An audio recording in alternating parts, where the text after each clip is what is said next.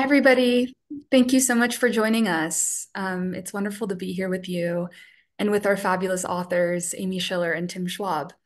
I'm Bella DeVaan, editor of the website inequality.org and the associate director of the Charity Reform Initiative. We live within the Institute for Policy Studies, which is a multi-issue progressive think tank fighting inequality, corporate power, polluters, and militarism since 1963. Our charity reform initiative works to turn ideas into action to transform philanthropy so that it genuinely benefits our common good. We publish original research and are organizing with all different kinds of stakeholders in our quest to unearth philanthropy's problems, overhaul outdated laws, boost the flow of funds to working charities, and protect our democratic institutions to ultimately construct a more equitable country. I don't think it's an understatement to say that wealth inequality defines American life and by consequence defines American giving. The majority of people in the world are poorer now than they were before the pandemic, while US billionaires have gotten, by our count, 88% wealthier.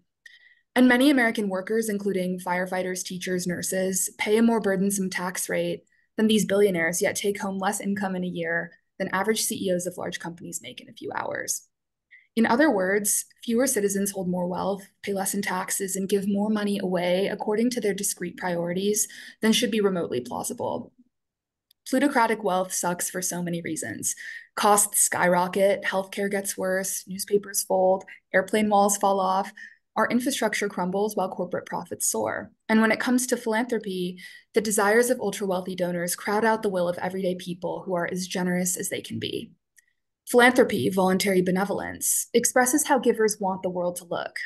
And as our authors thoroughly explain, many of our wealthiest philanthropists express a pretty narrow and dehumanizing definition of what is valuable in that world. When people give money away how they make it in this economy, it should concern all of us. Our current system provides opportunities for donors to concentrate their influence, launder their reputations, preserve wealth, and forego solving the root causes of inequality, which necessitate philanthropy in the first place. And philanthropy is a creature of the tax code, the same tax code that cushions our richest and disproportionately burdens our poorest because of what some call the bargain and the expectation that it'll benefit our common good. A low dollar giver is likely to give their donation directly to a working charity or nonprofit. But let's game out how a typical ultra wealthy giver might approach their philanthropy.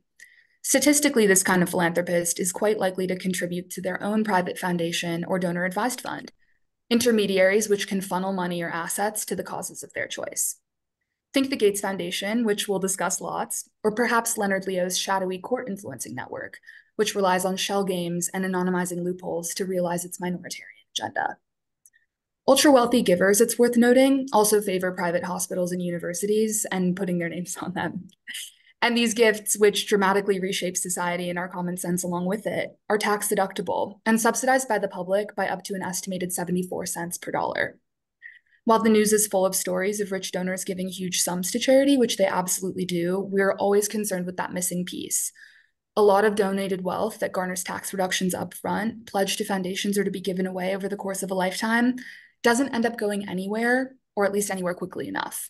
And that's why we currently have a massive pool of assets worth well over a trillion dollars piled up in charitable intermediaries like foundations and donor advised funds, already subsidized by the public, yet subject to insufficient disbursement requirements and lagging in reaching working charities. It's also why the billionaires who signed the Giving Pledge in 2010, promising to give away the majority of their wealth in their lifetimes, aging if they wished they could live forever, have seen their collective wealth grow by hundreds of billions. And that's a pretty infuriating abdication of responsibility. So, all these system failures bring us to this conversation today. Philanthropy is facing daunting trust and legitimacy crises, but things don't have to be this way.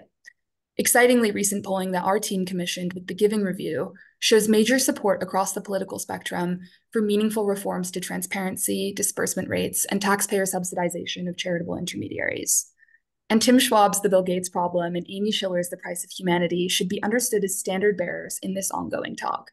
They view philanthropy and inequality as co constitutive political problems that demand political solutions because they believe that a better world is possible. So, without further ado, a little bit about our authors. Tim Schwab is an investigative journalist based in Washington, D.C. His reporting on the Gates Foundation has been published in The Nation, the Columbia Journalism Review, and the British Medical Journal. His book, The Bill Gates Problem Reckoning with the Myth of the Good Billionaire, received an Editor's Choice designation from the New York Times, and The Telegraph called it an extraordinary and detailed work of investigative journalism into an underexplored nexus of influence in global affairs. The book's being translated and sold in a dozen different territories from India to Germany to South Africa and Spain, and it's been reviewed by dozens of news outlets around the world. And Amy Schiller is a writer and political philosopher who's currently a visiting scholar at Dartmouth College. She's held additional fellowships at Stanford University, Bard College, and City University of New York, where she received her PhD. Her writing, philanthropy focused and cultural criticism, has been published in the Washington Post, The Atlantic, The Nation, and The Daily Beast. She's also had a 15 year career in major gift fundraising consulting, which I'm certain that we'll hear about. I'm really delighted to be speaking to these authors today, and we'll have time for a Q&A, so you can think up some good questions for our panelists, which you can enter into our chat box. Um, so Amy, I would love to start with you. Um, what is the price of humanity, and how did you recognize troubling shifts in giving culture through your major gift philanthropy work? Um, thanks for that question. Thanks for having me. Um, the price of humanity came about as I realized that um, philanthropists, in ways that I'll describe in detail, uh, were approaching their giving in the same manner as you described that they do a lot of other transactions in their acquiring of money and the management of money. And that would mean sort of labeling uh, human beings as kind of pricing their value, pricing the value of their longevity, the value of their productivity, um, looking at things with that very reductive um, and calculated view.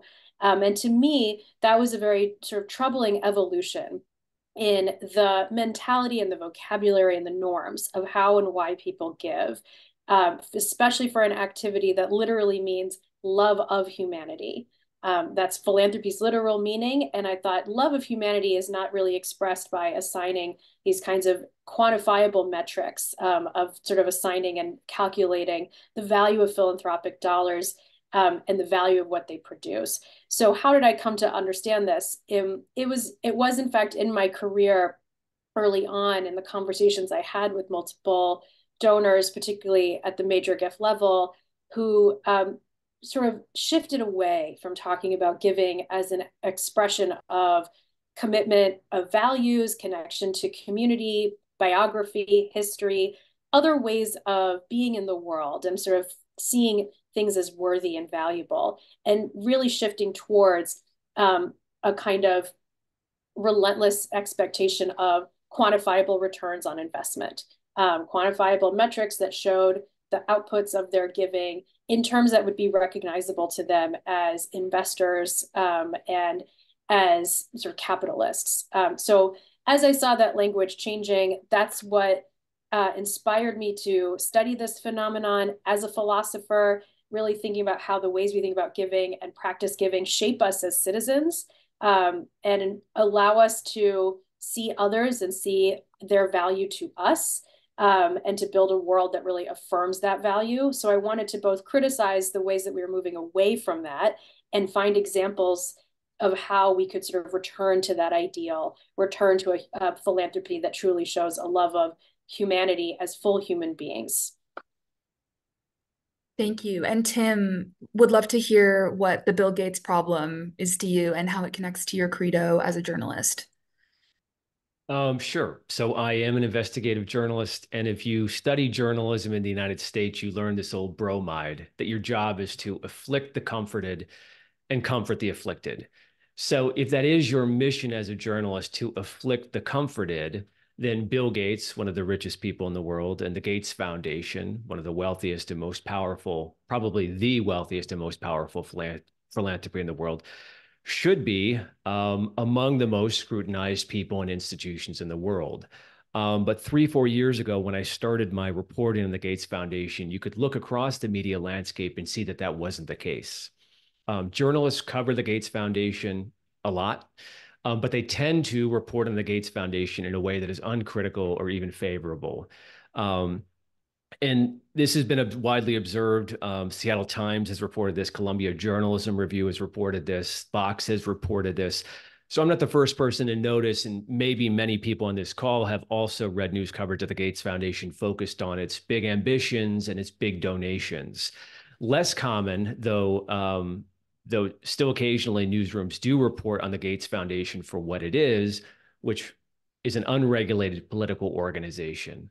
Um, it is uh, Bill Gates going around the world, meeting with elected leaders, shaping government priorities and government spending. He's intervening in public health and public education. So these are public policies that in free and open democracies, we would want to be organized in a public manner. Um, and what the Gates Foundation is doing is not donating money, but it's buying influence. It's buying a seat at the democratic decision making table um, in a way that is really, I think, better defined as money in politics than it is the common definition of charity or philanthropy. So I do think that um, you know, what the Gates Foundation presents is a stunning and to some extent new expression of billionaire power. Um, I wrote this book about Bill Gates and the Gates Foundation, but in many ways, it's a case study for this bigger problem of extreme wealth and extreme inequality. Um, when you allow, when we allow a very small group of people to become so obscenely wealthy as Bill Gates is, we know these people will use their wealth for political ends, if not campaign contributions, if not lobbying, then as Bill Gates shows us through philanthropy. So if we don't discuss and debate and interrogate our Bill Gates problem today, we are going to have a very big Mark Zuckerberg and Jeff Bezos problem going forward. Um, Gates is, you know, very aggressively campaigning, uh, asking other billionaires to follow in his footsteps, and hundreds have agreed um, who have said that they plan to give away most of their wealth. You know, and this means there could be hundreds of billions or maybe trillions of dollars coming down the pike in philanthropy. And what I'm arguing in this book is that that's not cause for celebration, but that's cause for concern, because what that portends is a political future in which, um, you know, tech billionaires wearing the superhero cape of philanthropy play an increasingly um, influential role in public life in in figuring out how we fight climate change, how we regulate artificial intelligence, how we organize public health, public education, all of these areas that are so vital to um, a functioning democracy. Um, so that's why I wrote the Bill Gates problem. Yeah, it's stunning to think about the Gates Foundation as a real harbinger of what's to come. And Amy, you write in your book that the foundation has used both its means and its clout to influence philanthropy writ large. So, not just to provide an example to the philanthropists, but to also shape norms of the sector. Um, I'd love to hear more about that from both of you, just about practices, about how the philanthropy is operating. So, the example I use in talking about Gates is uh, when he's starting out um, he has a conversation with Nick Kristof um, based on an article that Kristof wrote um, about uh, intestinal disease um, killing children in Africa. And he says, uh, I, I got into this because of your column, but not just because of the column. It was really just the stats. It was just the stats that were included alongside uh, the actual storytelling that was happening. And later on in a documentary about him, um, he goes on to say, we are not working retail, we're working wholesale. We're trying to work at a scale um, that really doesn't allow for a full understanding of the complexities of the human beings and the society situations necessarily that we are intervening in. We're trying to find something that is um, scalable at such a, a vast scope. Um, so there's this dismissal, even at the earliest moments, of um, complexity and of the full humanity of the people who he is allegedly helping and his foundation is allegedly helping. There's a dismissal of that as an obstacle to making the kind of impact that he wants to make. Um, and you can see how that's influenced other givers. Um, first of all, in the Giving Pledge um, and in the uh, spread of that as a sort of tactic to involve others in giving, which he spearheaded. You can also see it in the sort of standard that it has set for being much more kind of rigorous in the management of giving as in, as if it were an investment portfolio and the tracking of returns, the tracking of uh, the ROI per dollar, philanthropic dollar, and this encouragement to really narrow the focus in this very utilitarian way to this sort of maximum number of uh, minimum amount of good for the maximum number of people. Um, and the thing I will say about it that sort of sums it up is that their motto is um, every life has equal value, which implies that they have determined that value. Um, that there is, it's not that every life has value, but that there is an equal value that is sort of known and understood as a consensus and can be kind of understood and calculated. So the influence really is in shifting philanthropy in this utilitarian direction because he is so influential. Um, many people have followed in his footsteps and sort of allowed that approach, um, that very reductive approach, to filter into multiple levels of giving.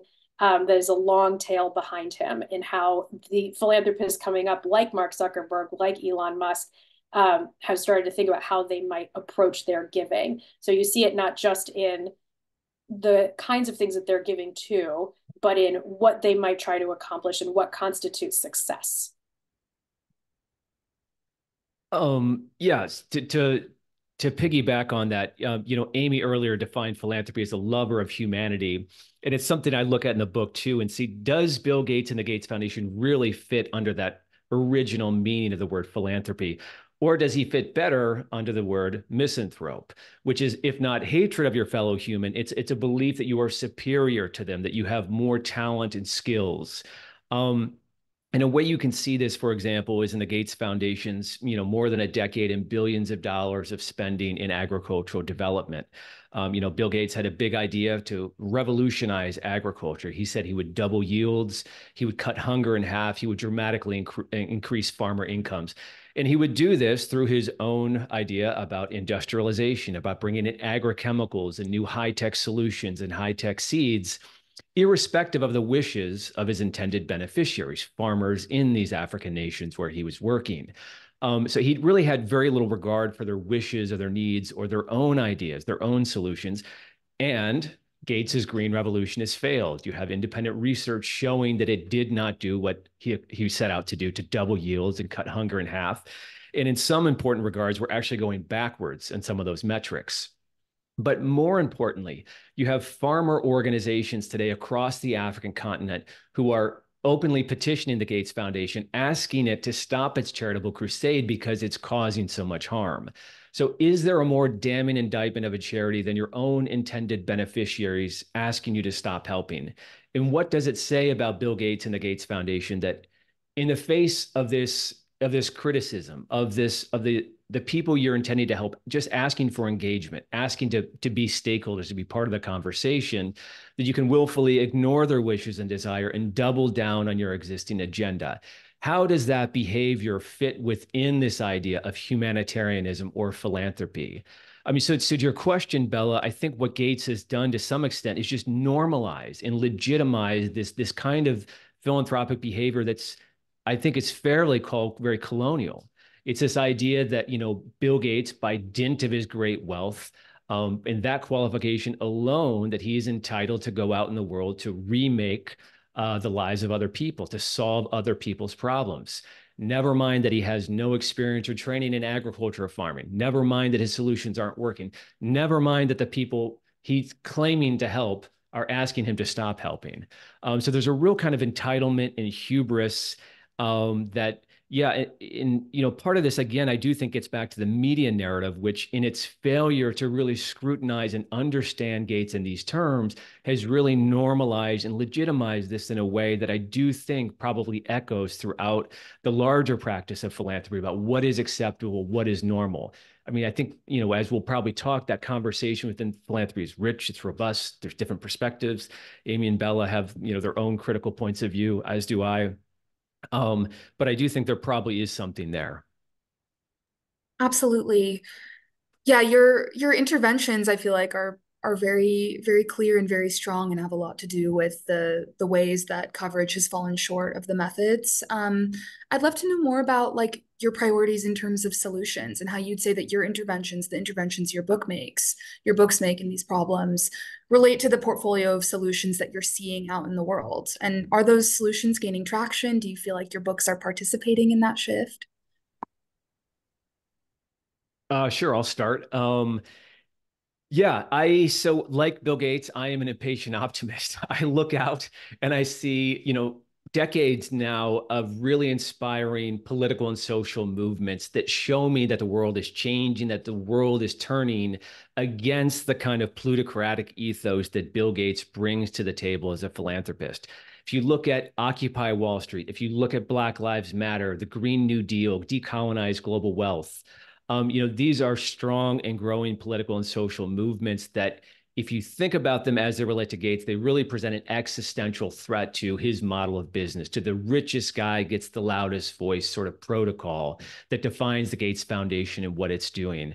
Um, you know, even on the political right, you see growing uh, distrust or dislike of Bill Gates and the Gates Foundation. You know, and a lot of that I think is coming down to this idea that, just the specter of oligarchy that he presents, that this really rich guy can intervene in, in such a substantial and significant way at home and abroad.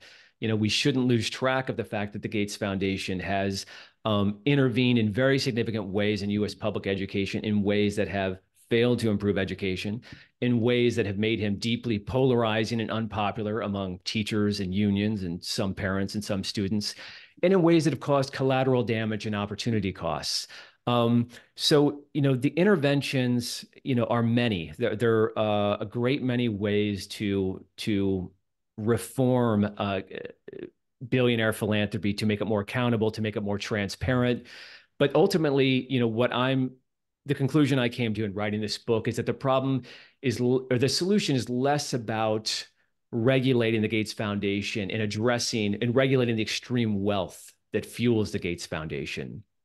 Um, if you try to put new rules or regulations around the Gates Foundation, there's nothing to stop Bill Gates and Melinda Gates from creating an outside LLC to do the same work in a way that's unregulated by those those new regulations over a private foundation, for example.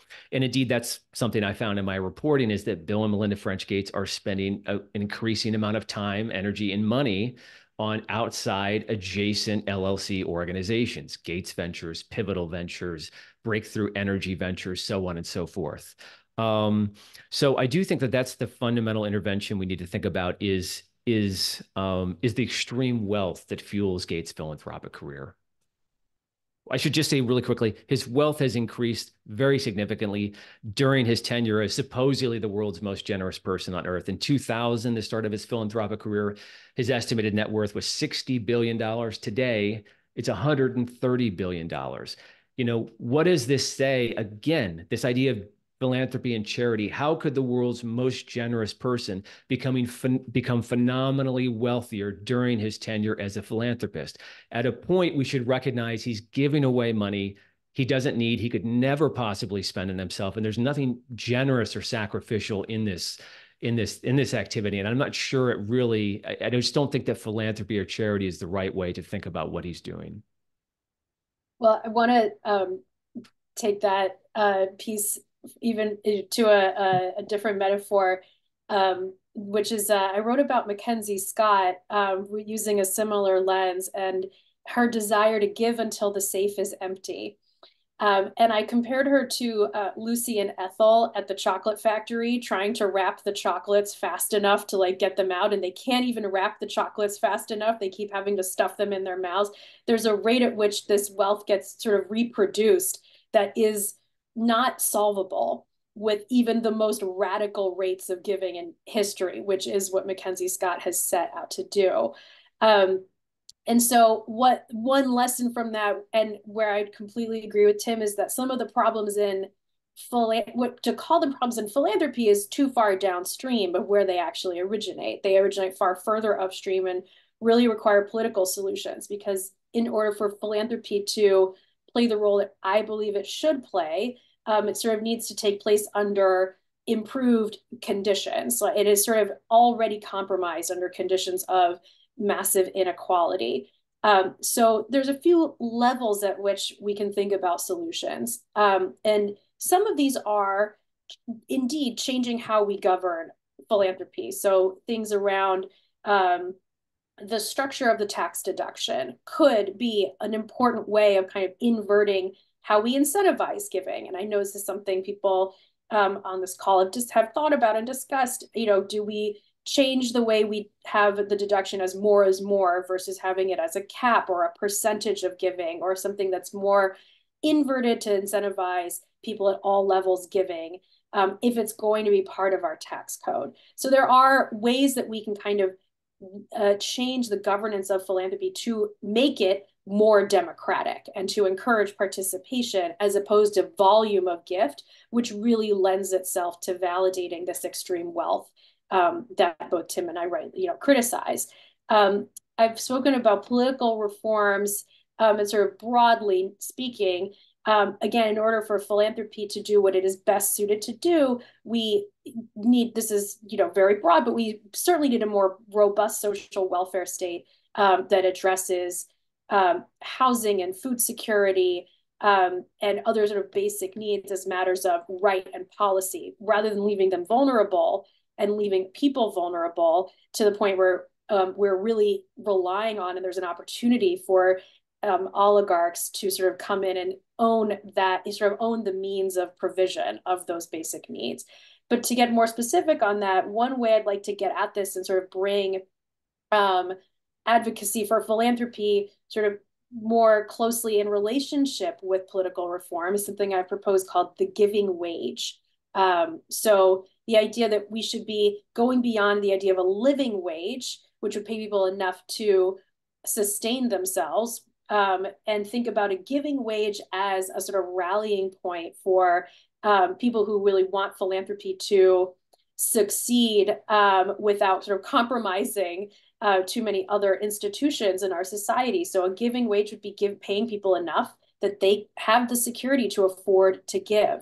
This would just be another way of both democratizing giving and sort of aligning philanthropy with the pursuit of economic justice rather than the validation of extreme wealth. So that's one sort of intervention that I see where we can connect it to political political economy. And then the third level is shifting our paradigm of, uh, and this is a much longer project, um, and that both of our books are trying to do, of saying, okay, how do we think about what philanthropy's role is supposed to be? I think we're um, encouraged to think about philanthropy that solves crises as good because it's solved a crisis allegedly um, rather than allowing us to think about how it has maybe created that crisis through prior conditions um, and really think about philanthropy not as a way of meeting basic needs or addressing crises, but about creating conditions um, that allow everyone to flourish and playing this sort of supplemental but crucial role um, in building those spaces and those institutions. So that's not as implementable in a pragmatic sense that we can see examples of it, but there's, you know, that's going from most kind of precise to broadest, what I see the scope of solutions including. Yeah, thank you both so much. I think this tension between the individual world building made possible by more plutocratic philanthropy and the collective world building, Amy, that you really gesture towards in your book, this idea that the process of making the world that we all live in should be the domain of philanthropy once everybody's needs are attended to. Um, I'd love to talk more about that. I'd love to talk more about your concept of magnificent philanthropy, what that might mean and look like. And Tim, if you want to weigh in more on ways that you've seen or don't see philanthropy contributing to this collective world building process? I know that you have examples from uh, the Gates story. Well, I'll to define what it is for me. So the concept of magnificence um, it comes from Aristotle, and Aristotle suggests that um, magnificence is a way of sort of making beauty using money rightly um, to sort of provide things of beauty and um, lavishness and grandeur available to all. So if we use our money in ways that uh, we want to buy something special for a loved one, or we want to buy something beautiful for ourselves, that's that's individual consumption. Um, but when you follow the sort of virtue of magnificence, it's basically saying nothing's too good for everybody. There's a way of it validating um, everyone's full humanity and their full their right to sort of live full and flourishing lives. Um, so when I think about magnificence, I think about creating things that are um, beautiful or enriching, that are as freely accessible as possible. Um, and this might mean physical spaces, um, it might mean institutions. I write quite a bit about libraries and the, why it's important that um, many of the libraries, which were uh, their capital expenditures were funded by Andrew Carnegie, and then their ongoing operations are funded by a combination of public funding and ongoing private sustaining contributions. Um, it's important that those spaces are beautiful, that they have this sort of, they generate this level of attachment, they generate this level of sort of dignity and community for others that they wouldn't if they were just functional buildings. So it's that margin of difference of saying, how can we make things not just functional, but beautiful and enriching that philanthropy has the flexibility to do. And that adds something very important that is affirming of everyone's full humanity versus just their sort of basic sustenance. Um, an interesting parallel story is that the Gates Foundation, one of its big first charitable projects was donating money to libraries. And, and of course, they were partnering with Microsoft and they were, it wasn't about, um, I don't think it was at all the magnificent philanthropy approach Amy was talking about. It was about introducing technology and specifically computers loaded with Microsoft software into libraries. And at that point, at the turn of the millennium, um, you know, journalists were much more eager to put a critical lens to Gates. And they quoted, the New York Times quoted someone saying, you know, this isn't philanthropy. This is just seeding the market. You're just getting people acclimated to Microsoft software so that they'll become lifelong consumers of the, of, of the products you're giving away. Um, so yeah, there is kind of an interesting uh, history of philanthropy's nexus with libraries. Um, I mean, but to your question, Bella, um, you know, I would say that probably everyone on this call has participated in charity as a giver or taker or both. I know I have. And, you know, my reporting on Gates, it started with a grant from the Alicia Patterson Foundation, which does one thing it gives out grants to journalism for the sake of supporting journalism it's not this foundation doesn't have its own agenda about which ideas or which politics it supports that it's trying to amplify and elevate by funding those journalism. It's really funding journalism for the sake of funding journalism. It's a very small foundation but the funding it gives to someone like me four or five years ago who was a struggling freelancer was really vital to my career. Um, and you can compare that to the gates foundation which also gives money to journalism, hundreds of millions of dollars, in fact. Um, many, uh, there are few newsrooms, certainly in the United States, that don't have some financial tie to the Gates Foundation. Either they're getting funding from Gates, their journalists have outside employment with Gates funded organization or doing Gates funded fellowships or Gates funded grants. Um, it really is stunning the level of financial influence that the Gates Foundation has over the news media. It's also non transparent, so we can't see all of it. But the Gates Foundation takes a very different and I would say non magnificent approach to funding journalism, which is that it's really focused on elevating and amplifying the Gates Foundation's agenda, its priorities, if not also its own reputation and brand and legacy.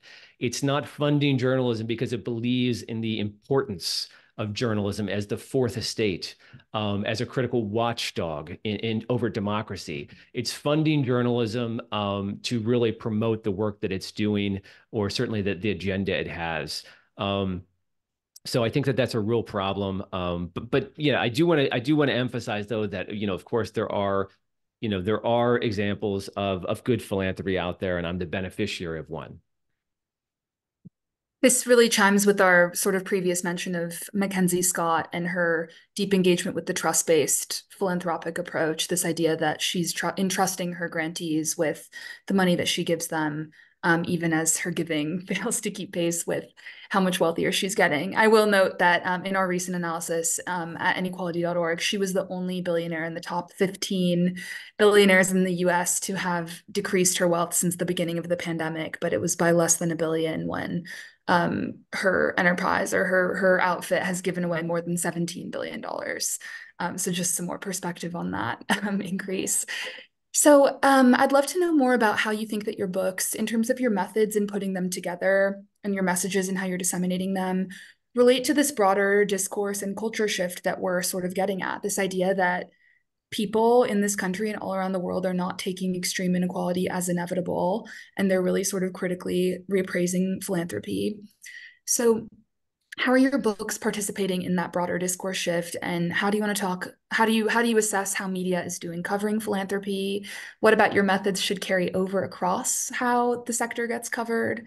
Um, would just love to hear more about that. And tim you were just talking about journalism so let's go right back to you yeah. Uh, I mean, some of this work was already done for me. You know, in 2021, I think was the absolute zenith of the Gates found of Bill Gates' philanthropic career. He was, you know, on the media. It seemed every night you know, as a public health expert about the COVID pandemic. He was also behind the scenes in closed door meetings with governments, with pharmaceutical companies, organizing the pandemic response.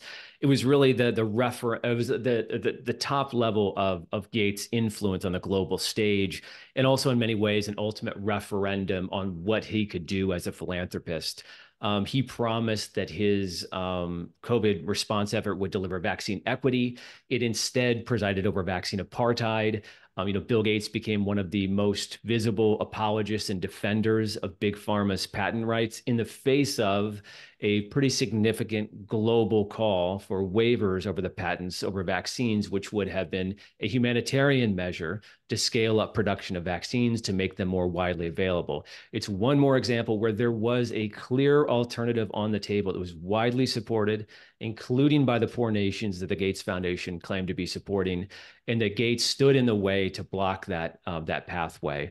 Um, so the failures of the Gates Foundation, the pandemic, combined with Bill and Melinda French Gates' divorce, combined with a uh, ongoing uh, set of allegations about um, Bill Gates' workplace behavior towards female subordinates. Gates denies any wrongdoing, alongside an ongoing news cycle. A lot of the top newspapers in this, you know, Wall Street Journal, New York Times are looking and continue to publish stories about Bill Gates' association with Jeffrey Epstein. They seem to think that's a very important story. I think it does bear scrutiny. Um, so I think by the time my book came out, the narrative was already starting to change on Bill Gates and the Gates Foundation. Um, so what my book does is come into a place where uh, the the the narrative is already changing. It just the the trick now, I think, or the important thing to do now is to create even more mainstream venues and forums to where we can let the many, many critics surrounding the Gates Foundation raise up their voice, where we can finally have an, an open and honest and robust conversation about what the Gates Foundation is and what it isn't, and what it's actually doing. Um, so yeah, I mean, and, and beyond that, I do think that you know, I think I mentioned this earlier, but I do think political culture is generally changing, and that a lot of the neoliberal ideas, ideologies, and solutions that fuel Bill Gates' philanthropic career, a lot of these are going out of favor, even if the whole world hasn't recognized this.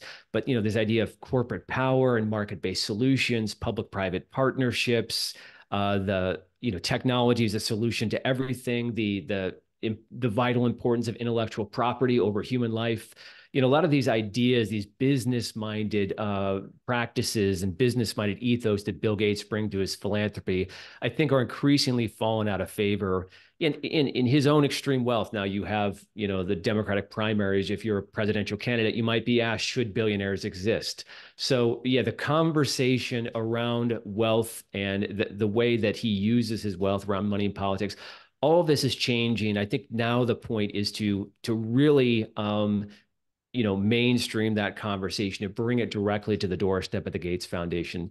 Uh, really quickly, this, the the subtext of my book is reckoning with the myth of the good billionaire because for so long, even uh, with all this criticism of billionaires, Bill Gates has been this perennial counterpoint, the one that's difficult to challenge because, as we've been told ad nauseum, he's giving away all of his money, he's saving millions of lives and you know, the real story of the Gates Foundation is far, far different from that. And I think it's finally time to to look at what the foundation is actually doing, not just what it says it's doing, not what the research it funds says it's doing, not just what the journalism it funds says it's doing, but actually follow the money, talk to the sources, and look at what it is doing. What do you think, Amy? So, um, to me, a, a thing that's important to strive for is that as we um, criticize and sort of push back on the accumulation of extreme wealth, I would it would be a re- it would be tragic if philanthropy were um, associated as only an elite activity, only um, an activity of the wealthy and of extreme wealth. So you could say that what I am trying to accomplish is both create a space to both criticize inequality and in economic injustice while also reclaiming philanthropy that is properly democratic and is sort of vitally affirming of what makes us human that has a real role to play especially as we look to developments like that like AI that really devalue the human, that really devalue the human element um, in work and production and even in creativity. So really I'm trying to disentangle things that often become conflated and say, you know, philanthropy can really be reclaimed for the, the people, proverbially speaking. So one way that I um, attempted to do this is in the story of the restoration of Notre Dame Cathedral, um, which became this huge controversy because the most public gifts were these 100 million euro, 200 million euro pledges by the wealthiest families of France that really generated this backlash against there being so much wealth that being put at the disposal of this project. And I thought that is an absolutely rightful criticism of political conditions, including the recently implemented Macron tax cuts that had benefited the wealthiest of France. Um, that's an, a rightful criticism of austerity politics that it slashed social services spending, that that was a great expression of a political critique, but that it um, overshadowed or threatened to overshadow the very significant meaning that people found in donating at all levels to the restoration of Notre Dame, this expression that this mattered to them. Notre Dame, from its origins, has been the people's cathedral. It's in the middle of Paris. It's not it's some estate far away for only the aristocrats to see. It is built by and for the people. And so there's something worth reclaiming about this practice, whether it's um, Notre Dame in Paris, whether it's how we, how poor and working class people contributed and raised $100,000 to install the Statue of Liberty um, through Joseph Pulitzer's first crowdfunding campaign. There's ways in which we can see philanthropy as an expression of, as you say, Bella, collective world building, that it is a practice that generates and affirms democracy and generates and affirms our belonging to each other and to society and our worth to one another. So I want to see that sort of restored alongside the criticism of the wealth that sort of threatens to corrupt and corrode that ethos. Thank you both so much. Um, I'd love to pivot now to some of the questions that our fantastic audience members have been submitting. Um, the first one I want to ask is what kind of regulators or regulations could be brought in to monitor gates and others? So we can talk about reform. Amy, you started to talk about tax deductions. Um, Tim, I know that you're particularly interested in transparency, but what are your thoughts about um, regulators and regulations for monitoring and also to sort of um, curb the the excesses of the practices here? Well, one idea that the Institute for Policy Studies had that was interesting was um, putting a what is it, a two or three percent excise tax on private foundations to create a, its own watchdog group instead of the current, you know, IRS as the watchdog group, which doesn't have the funding to really uh, take a close look at private philanthropies. It also isn't really organized to do that because the job of the IRS is to bring money into the Treasury uh, through taxation, but private foundations don't pay taxes. So they're not going to spend a lot of time and energy regulating, scrutinizing organizations that don't pay taxes in the first place. So if you had a different kind of watchdog, you know, that might be something. Um, yeah, there are a great many. Um, I guess the, you know, you mentioned this in your introductory remarks, Bella, is that up to 74% uh, of every dollar that a billionaire gives away, that could be, um, it's basically a public subsidy or for every dollar that a billionaire donates, they can get a tax break of up to 74%. 74 cents and that many tax scholars today say that that's a tax subsidy. Um, you know, that leaves the rest of us the rest of us to fill in the gaps that are left um, with that missing tax funding. It's a, so it's a clear measure for accountability for public accountability to say you know what are you doing with our money or we should have rules over how you spend our money. And you know what i discovered with the gates foundation is just following the money, seeing how the Gates Foundation is spending our money is not possible. There are billions of dollars that the Gates Foundation is giving away today in contracts and professional fees, which we don't know the destination of which. We know that the Gates Foundation is using this great, these great sums of money to advance its charitable mission and its agenda, but we don't know where the money is going or exactly how it's being spent you know and even even the money that is publicly reported you get a, a phrase uh, you know a passing phrase that says to to to increase uh, attention to global health or something very kind of vague like that. So it's very difficult to know how these recipients of gates funding are actually um, using the money. Um, you know, real quickly, and this is kind of a complicated anecdote, but I do want to make it, you know, in the first chapter of the book, um, a lot of other writers and scholars have talked about this this weird phenomenon within the Gates Foundation where it's donating money to private companies. So if you the Gates Foundation has given more than 140 million dollars to Pfizer, major multinational for-profit company that does not need charitable contributions. So it's a great deal for Pfizer to get $140 million to get the halo effect of associating its brand with the, the, the, world's most celebrated humanitarian.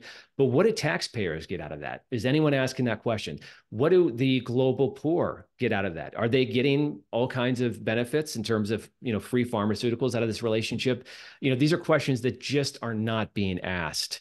Um, you know, yeah, it's it's complicated. Very, I'll try and do this as quickly as possible. But it, the one thing I did in my reporting is take that um, that line of inquiry a little bit further, and I started reaching out to private companies that have worked with the Gates Foundation. Many of these are small startup companies, and a lot of them say that working with the Gates Foundation is like a corporate takeover. That you know, the Gates one uh, pharma company told me that you know the Gates Foundation was telling them who they could and couldn't hire in their own company Another one was saying that the Gates Foundation is deciding the clinical endpoints of their trials that determine the trajectory of all their development activities. Just an incredible amount of, um, of influence and micromanaging over not just one private companies, but many different competing private companies that might be working on the same vaccine or the same diagnostic or the same drug. And as surprising as it may sound, some of these companies said that the Gates Found they accused the Gates Foundation of abusing its power and acting in the exact same anti-competitive way that Microsoft was accused of 25 years ago under Gates's leadership. You know, and what one um, pharmaceutical company told me, quoting Maya Angelou, is that when someone shows you who they are, believe them the first time. You know, Bill Gates remains today the same cold-hearted, bullying monopolist that he was at Microsoft. He is not a new and changed man. He has not gone from cold-hearted capitalist to kind-hearted philanthropist. So, you know, just within the idea of regulation, you know, not for nothing, but there are private for-profit pharmaceutical companies out there who think that the Gates Foundation should be investigated for its anti-competitive behavior in pharmaceutical development. Um, so it's something just to put on the table, as as complicated as that anecdote is. I explain with great detail in the first chapter of my book if you're interested in more. It's true. Tim has a chapter for everything um, in that book. Amy, what are your thoughts on regulation and sort of new new laws that need to be updated? Uh, I'm just going to very quickly. Um, I I do encourage um, a universal tax credit over um, the tax deduction structure that we have, um, and that sort of goes back to that sense of can we incentivize smaller dollar participation as opposed to larger dollar participation and find a way kind of redefining purpose of philanthropy through that. Um, DAFs, of course, are a big donor advised funds are a big topic of conversation, and I am in favor of reforms that include a payout schedule for them, um, as well as regulations on um, the deductibility at various points of um, both like when, for example, when stock is deposited into um, a donor advised fund, and then when it is given out to kind of modify the ways in which those assets um, are removed from tax liability. Um, so those are sort of small interventions to just make sure that um, the the the tax sheltering function um, and the sort of wealth affirm the the wealth validating function of philanthropy is lessened. That's great. Yeah, we were also asked a question about the DAF boom and if we had positions on payout, um, I would note that the Charity Reform Initiative at IPS has a campaign rolling out next week um, called the Donor Revolt for Charity Reform with an attendant option for um, anybody who's interested in reforming some of these excesses we've discussed. Um, and we support kind of a bold reform to, you know, create a DAF payout mechanism and also to ensure that money moves through those funds in a timely in a timely fashion. Um, so thank you both for answering those questions. I have another one from an anonymous attendee. Can you share any examples of democracy-centered and inclusive philanthropic initiatives? Um, so I'm going to tell what I consider to be the um, the best story, maybe in the book, which is um, the story of LeBron James's school in Akron, the I Promise School. So first thing I want to say about it is that it's really critical and in some ways radical that um, this foundation is funding not a charter school, not a sort of privately governed institution, but a public school that is within the Akron public school system and has a collective bargaining agreement. So I think as a baseline, we should say democracy centered philanthropy should necessarily be working in collaboration with and in almost deference to the governance of democratic institutions. It should serve a supplemental function as opposed to this kind of um, takeover function and privatization function that it so often does. So that's just a baseline expectation. Um, and uh, the fact that it, and now of course this is just one school. This is one school, this is not a whole system. Um, and that school can only accept so many students. So obviously this is more of a model than it is a, a complete solution. Um, the fact that the school and the network of institutions that LeBron funds in Akron now um, have very few regulations around um, sort of eligibility and participation. So his housing center, the I Promise Village, there's no limits on how long families can stay. Um, there's a real, again, that sort of enacts that sense of trust that families who need housing support are not going to, they're not going to take advantage of that unduly. They are there because they need it and they are there because they deserve that support. Um, so this is sort of true across the board. So another requirement for democratic philanthropy is sort of making things that are sort of freely accessible on the terms of the people who are benefiting from them, free to enter, free to participate. Um, so that that's the second piece, and then third piece is um, the detail that he gives all of the students at the school a bike and a helmet. And he was asked why. He said, "When I was a kid, having a bike was what made me feel free." That is so powerful to me partly because you cannot measure somebody feeling free. It is a real trust in them. Um, and it is furthermore a lesson in what are what sorts of people are we trying to encourage and sort of nurture with our philanthropic giving we're trying to nurture people who can move through the world with freedom with security who can participate in life who are full human beings and can participate in collective life um, rather than just sort of being marginalized um, into dependency. So democracy then also should encourage all of us to become the people who can build the world together. Um, yeah, my focus, you know, as a researcher is less like I, I, come to this as an investigative journalist. I don't have experience working within philanthropy. My goal is less about what philanthropy should look like or how to make it better and more about how to make the economy or democracy better, which means getting rid of this sort of extreme and obscene wealth that um, that fuels the Gates Foundation. So that's more um, that's probably more where where my ideas come to. So I'm not sure I'm the best person to answer this question.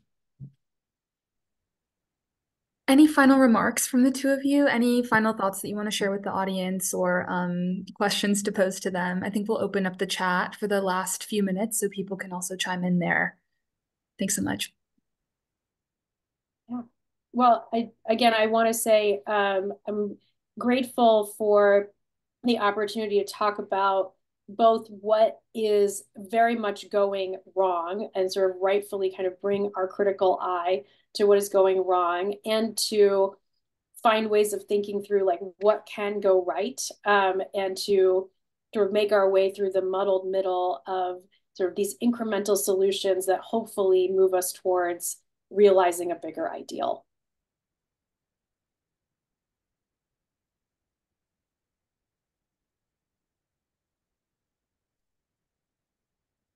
Um, I'll ask a question of Amy. Is that okay?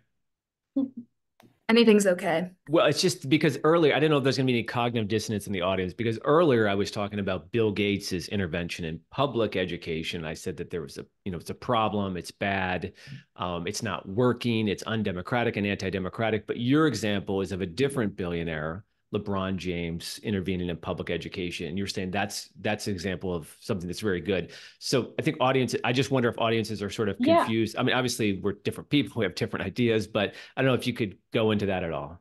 Well, the, well, it's all the it's all the execution and the details, um, because you've just described Gates as somebody who does not concede any power and does not share authority. Um, and so, if he's intervening in education, the, the approach there is that um, he's there to kind of set the set the terms um, of how those institutions are to function rather than to partner and collaborate and actually supplement work that's being done and to have any level of deference to um, governing institutions like the public school system. So that to me is just like the key difference is um, you can work with public institutions but the key is that you're working with them and not trying to sort of take over them and shape them to your own ends but you're not telling people you're from Ohio, which is the real uh, conflict well, of interest. Well, that's true. Right? I am. yeah, full disclosure. That's right. That's the investigative journalism. Yeah. Um, in at work, I am. I am from Cleveland. Um, so perhaps, perhaps the uh, that is necessary for this conversation. Any final thoughts, Tim, that you want to share with the with the webinar? Um, I don't think so. Um, I mean, I guess just uh, in case I, I I muddied this earlier, like I think it is, you know, it is true. You know, the tax scholars are saying that if up to seventy four cents of every dollar a billionaire donates to philanthropy is actually public funds and public subsidy, so we should have some say over it. Or the other option is we eliminate all tax benefits, you know, to billionaire philanthropists. You know, should someone like Bill Gates be given any kind of tax breaks, subsidies, benefits? For engaging in philanthropy?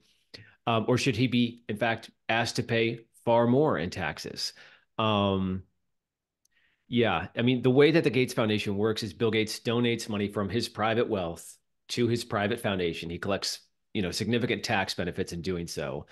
Um, in all kinds of public applause, political power, media accolades, but he's still he hasn't really given the money away. He's given it to the Gates Foundation, where he continues to control it.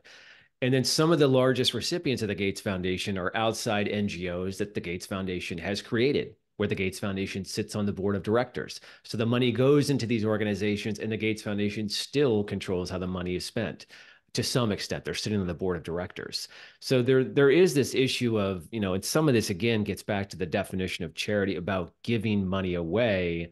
And it, it points is, you know, you look at the Gates Foundation, you try and follow the money and say, well, you're not giving the money away. You're giving the money from your private wealth to your private foundation to an organization that you run. You've never relinquished control of the money. And you've used the money very purposefully to advance your narrow ideas about public health, public education. Right. That idea that that's not an elected power. That's a an individual expressing a lot of authority and uh, autonomy in a system that should be run by all of us. Um, thank you everyone so much for attending. Amy and Tim, I can't thank you enough for your time. I recommend that everybody buy their books and learn more about what they have to say, follow them online. We'd love it if you could keep up with inequality.org and our charity reform initiative. You, the best way to do that is to find us at inequality.org slash subscribe.